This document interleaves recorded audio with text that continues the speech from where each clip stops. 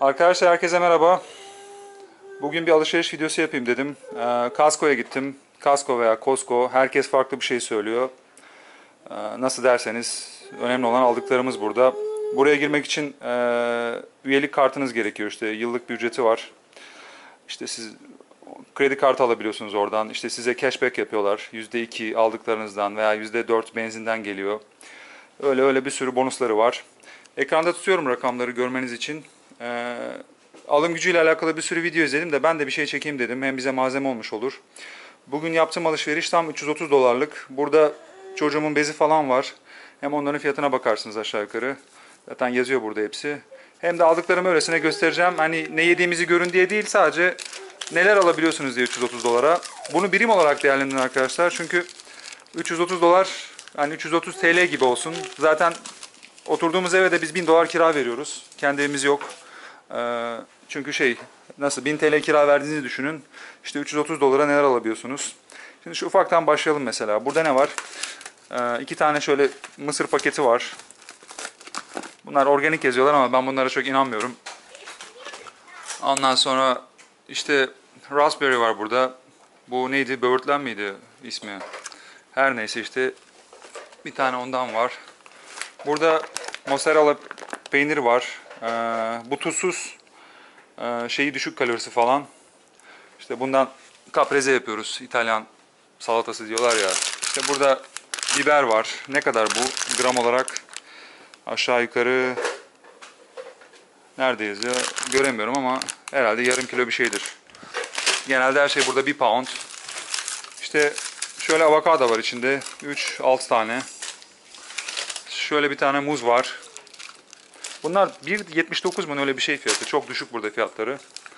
Ondan sonra bir tane böyle e, Gouda peynir şey peynir var burada. Hollanda'dan diyor. Burada yapılma değil. Ne kadar bu da? 11 dolarmış. Bu da aşağı yukarı yine 1 pound falandır veya 2 pound'tur. Nerede yazıyor göremiyorum. Evet 2, 2 pound yazıyor aşağı yukarı 1 kiloya yakın. Sonra bir tane şey işte Pecorino Romano, Romano. Bunlar güzel oluyor parmesan peyniri. Bu da İtalya'dan. Bu da 11 dolar. Aşağı yukarı 600-700 gram civarı. Ondan sonra şöyle bir sosis var. Bunda indirim vardı o yüzden aldım. İşte pork free yazıyor domuzsuz. Yiyenler yesin biz yemiyoruz. Yani dinden falan değil ama yani yemedik bu yaşımıza kadar o yüzden devam etmiyoruz. Kalorisi falan yüksek değil diye aldım bunu. Değişiklik olsun. Bir tane şöyle organik mix salata var işte. Bunlar da güzel oluyor yıkanmış. Ne diyor? Evet yıkanmış. Şöyle çorba var arkadaşlar. Broccoli cheddar soup diyorlar buna. Güzel iki tane. Bu da 7-8 dolar bir şeydi. Sonra burada bir şey var domates çorbası. Şeyli e, ne bunun ismi? Bilmiyorum ismini. Yeşil otun adını bilmiyorum. Şu gazlı içecek alayım dedim sadece. Su şeye dikkat etmedim. Burada alkol varmış %5. İşte hanım istiyordu onu aldım ama şey alkol olduğu için ben içeceğim. Çünkü çocuğumuz hala süt emiyor o yüzden vermiyoruz öyle bir şey ona. Bir tane döner aldım ilk kez. Bu da 11 dolardı. Yani 11 TL olarak düşünün arkadaşlar. Bıraktım. Şöyle tatlar vardı. Bundan daha önce hiç almadım. Bunlar şeyde cam e, cam şeylerde, bardaklarda. Denemek için aldım işte. 8 tane var içinde. Bu da Fransız galiba büyük ihtimal veya İtalyandır. Göremiyorum. Neyse bunu da geçtik. Şöyle 3 tane süt var. İşte laktozsuz hani mide şey olmasın diye. Bunu genelde kahveye koyuyoruz. İşte ne kadarmış? 1.8 yani 2 litreye yakın 6 litre süt var burada. Organik yazıyor. Ne kadar tabi organik. Olay şu işte bu en büyük parayı tutanlardan bir tanesi. 40 küsür dolardı galiba yanlış hatırlamıyorsam. 42 mi 168 tane var içinde. Bu Costco'nun kendi ürünü. Fena değil. Bazen Huggies var ondan alıyoruz. Bugün yoktu. Orada indirimli o yüzden almadım. İşte şöyle şey var. Bir tane. Neydi bunun ismi? Ee, bilmiyorum hatırlamıyorum arkadaşlar. Niye hatırlamıyorum? Ben 20 yıldır Türkiye'de yaşamıyorum. Yani geçen sene gelmedim. O yüzden şey zannetmeyin hani hemen her şeyi unutuyorlar ya. O yüzden biraz hep her seferinde söylemeye çalışıyorum. Şu hanımın şeyi Yüzüne sürdüğü krem. Biz bunların tanesini 20 dolar alıyorduk. Burada indirim vardı. Bu normalde 24 dolar orada iki tanesi ama şey 18 dolar aldım tanesini. O yüzden iki tane aldım. İşte cildi kuruyor diye. Şunlar şey nar suyu. %100 yazıyor. Tabii ne kadar doğru onu da bilmiyorum ama yani Kirkland'ın ürünleri genelde iyi. Kendi markası. İki tane bundan aldım. Arkadaşlar şu tavuğun hikayesi çok ilginç. Bu tavuk 4.99 dolar. Yani pişmemişini alamazsınız o paraya. Ve bu yani 15 yıldır bunun fiyatı aynı.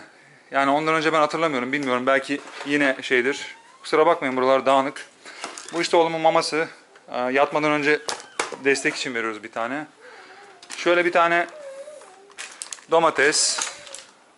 Ondan sonra iki tane şöyle yine düşük yağlı aldım. Bunlardan çökelik tarzı bir şey yapıyoruz.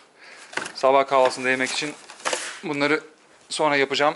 Onunla alakalı bir tane video çekebilirim sonra. Bir de şöyle işte kaç tane yoğurt var burada. Bunda şeker yok. İşte herhangi bir katkı maddesi yok. 15 gram proteinli diye. Sabah yine kahvaltıda hanım bunları seviyor. İşte yüzde sıfır her şey. Şişman falan olmuyorsun. Şekeri mekeri yok eklenmemişler. İçinde kaç tane vardı bunun? Oğlum da arkada konuşuyor. 18 tane var. 6'şar adet.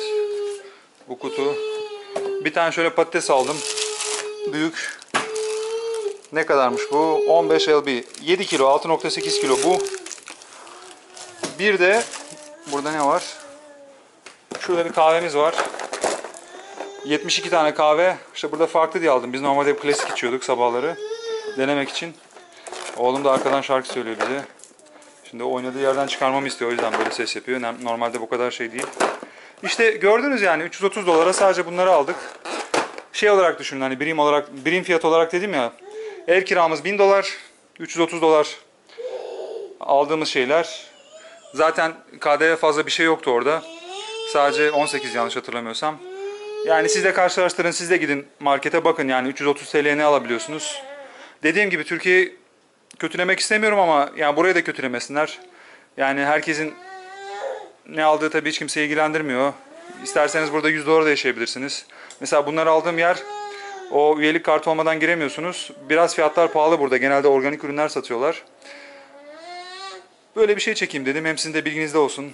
Hem karşılaştırın. Yani böyle. Görüşmek üzere arkadaşlar. Daha çok video çekmeye çalışacağım. Bakalım yapabilirsem. Arada böyle hem alışveriş videoları hem oraya gitmişken de bir ara çekeceğim. Gittikten sonra aklıma geldi o yüzden kamerayı almadım yanıma. Görüşmek üzere. Herkese bay.